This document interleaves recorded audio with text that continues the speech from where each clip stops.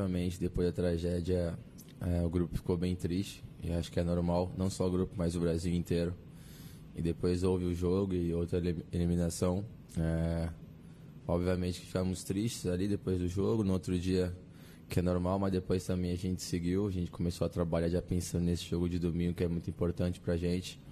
Eu acho que a gente tem trabalhado muito bem, tem feito as coisas da maneira certa e tenho certeza que tu tem, é, tu tem tudo para dar certo no, nos próximos jogos e a gente seguir nesse, nesse caminho que está tá sendo muito bom e muito proveitoso. E Gabigol, falando de, de, de campo bola mesmo, né? É, o Flamengo começou o ano fazendo um rodízio, o Abel querendo ver um pouco de todo mundo mesmo, também por causa da parte física, para todo mundo, ninguém se machucar. E agora vem aí dois jogos do Carioca, começando Taça Rio, mas difícil não pensar na estreia na Libertadores, né? Você acha que essas duas semaninhas aí até Libertadores também vai ser bom para o Abel é, ter certeza de que time ele quer botar em campo? Vocês, por exemplo, ali na frente, sabem que estão disputando posição? Eu acho que a gente tem que pensar jogo a jogo, na minha opinião. É, creio eu que essa semana vai ser muito produtiva. É, a gente tem um grande jogo no domingo. É, estamos ansiosos por esse jogo, para poder voltar ao Maracanã, a ganhar, a jogar bem.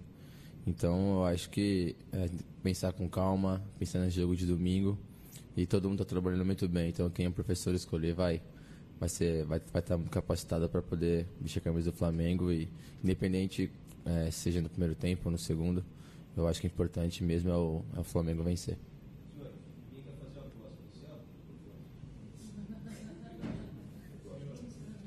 Gabriel, bom dia, tudo bem? É, Tudo certo.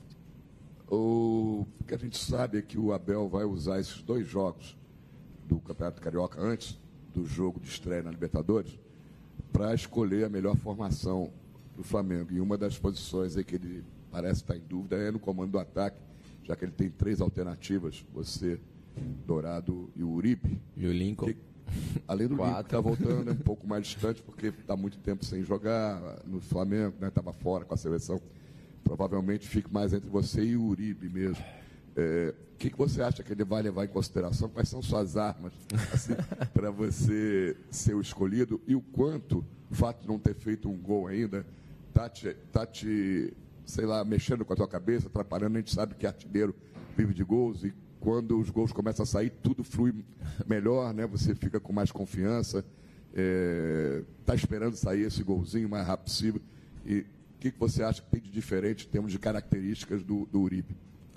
Olha, eu acho que eu sou um cara que tem jogado em todas as posições aqui no Flamengo. Já joguei por dentro. No último jogo terminei por fora. Então eu, eu me vejo como um jogador, é, talvez, de todos ali, o que mais rodou de posição. É, não sei se isso é, pode me ajudar. É, eu acho que não tem uma disputa entre titular e reserva. Eu acho que quem é professor escolher vai, vai se dar muito bem. É, são características diferentes, eu gosto de sair mais da área. O Uribe fica um pouco mais lá dentro. Eu acho que independente do, de quem ele escolher, vai, vai muito bem. Também depende muito da característica que o professor quer, quer dentro do jogo. Se é esperar mais recuado, se é marcar lá em cima, se vai usar mais a bola aérea. É, então eu acho que é, nesse comando de ataque eu acho que pode ser muitas opções. Que eu também posso jogar aberto, como venho jogando às vezes, ou de meia. E sobre o gol, eu acho que, que é naturalmente vai sair esse gol. É, todos, todas as pessoas também estão ansiosas. É, claro que quando sai o gol tudo flui melhor, como você disse. Mas eu tenho, tenho muita confiança, tenho, é, tenho estado muito bem, estou muito feliz aqui no Flamengo. A cada jogo eu me vejo evoluindo, então espero que continue assim. E os gols vai, vai sair.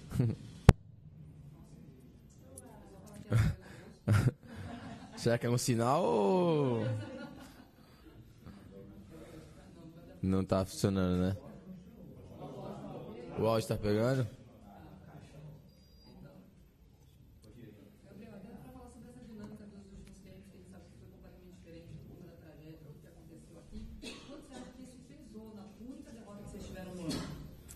Olha, eu acho que é, foi o que aconteceu e foi muito triste, obviamente, que todos os jogadores sentiram isso, até porque a gente.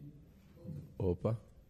A gente, a gente convivia com os meninos e eu mesmo tirei foto com, algum, com, com um deles é, ali, acho que um dia antes. Então acho que obviamente que isso, ó, que isso foi, é, foi muito triste pra gente. a gente tentou focar ao máximo, a gente tentou né, se doar ao máximo como a gente vem fazendo e está fazendo. Então, creio eu que, que a gente prefere não, não pensar. É, obviamente que eles vão ficar nos nossos corações, como do, do Brasil inteiro.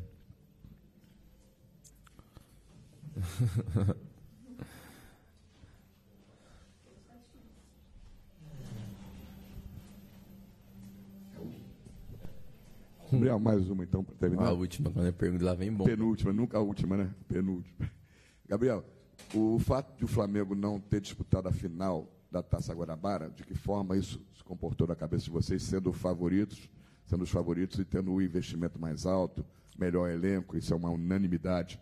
Todo mundo, não tem ninguém que discorde disso. E quanto é importante agora fazer uma boa campanha na Taça Rio para brigar ainda pelo título da Taça Rio, do Campeonato Carioca, essa estreia contra o americano eh, tem que ser uma estreia já com uma boa vitória? Olha, eu acho que a gente tem, tem uma boa campanha no Carioca. Eu acho que, é, obviamente, que a gente foi classificado ali, mas eu acho que se a gente for ver em performance, a gente foi, acho que talvez um dos melhores times, ou se não o melhor. Eu acho que a gente tem que continuar assim, trabalhando bastante. A gente tem, é, sim, um, um, um grande elenco com jogadores, mas eu acho que investimento não, não entra em, em campo e não é o dinheiro ou outra coisa que vai fazer é, a bola entrar, o time vencer.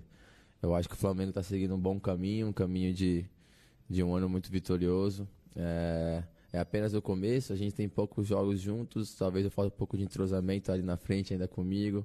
Eu peço a bola no pé, eles dão na frente, então tem uma coisa que acontece no futebol e coisas que o tempo vão se acertando, e principalmente no treinamento. Então acho que a gente tem que continuar assim, trabalhando bastante, que as coisas vão, vão dar certo.